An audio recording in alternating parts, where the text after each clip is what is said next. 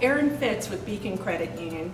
I'm joined here today by Michelle Thomas, the Development Director with Lynchburg Humane Society.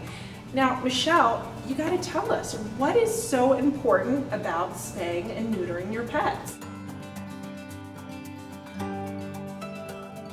Okay, it's so important. Thanks for having me. Oh, um, September is Cat Month, so it's very important that we talk about um, things important to our, to our cats, and spaying and neutering is like one of the most important things you can do for your cat. If you have a cat in your home that is not spayed or neutered, you should not let it outside. Mm. And this because this contributes to our um, feral overpopulation of community cats.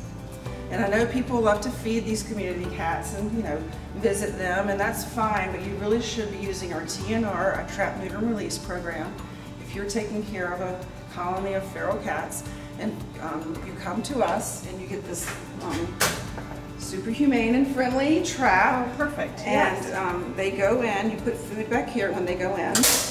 And then you bring them to our spay and neuter clinic in Evington, Virginia for $25. We'll spay, neuter, give them a rabies shot, give them back to you, take them back to their colony.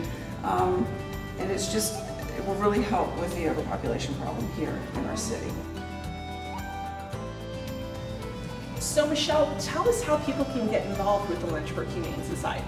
Sure, there are many ways to help. We certainly need fosters.